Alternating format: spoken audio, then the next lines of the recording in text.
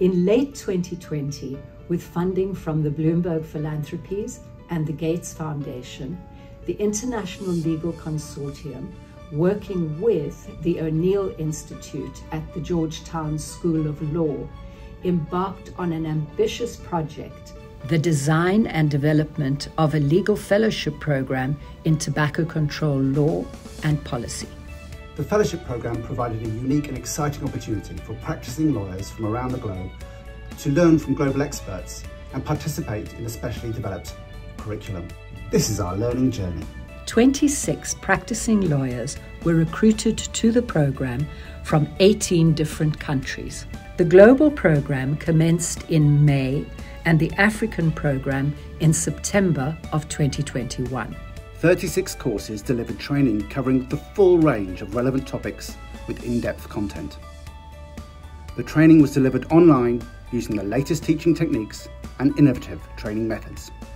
Each course focused on a specific subject area and included a range of teaching methods readings, relevant exercises, and live classroom discussions.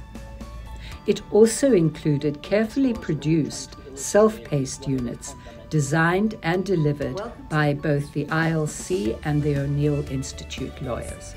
Delivering the programme online meant we could invite external global experts to provide a series of tailored webinars and panel discussions. I'm Tim Dewhirst. I'm a professor in the Department of Marketing and Consumer Study. Uh, I'm Phil Chamberlain. I'm the managing editor for Tobacco Tactics. I'm an economist, right? My name is Rebecca Pearl.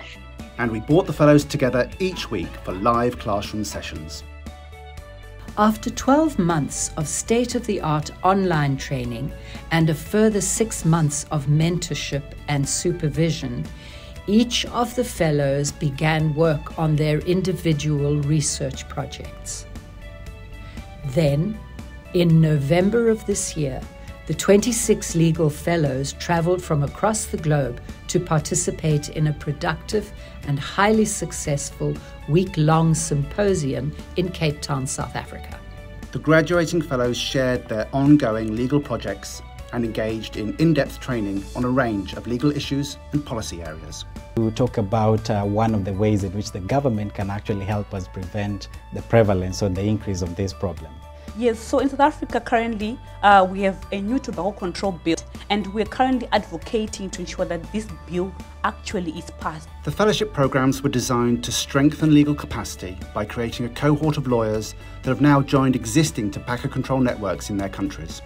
The presentation of graduation certificates concluded the symposium and the fellowship programs.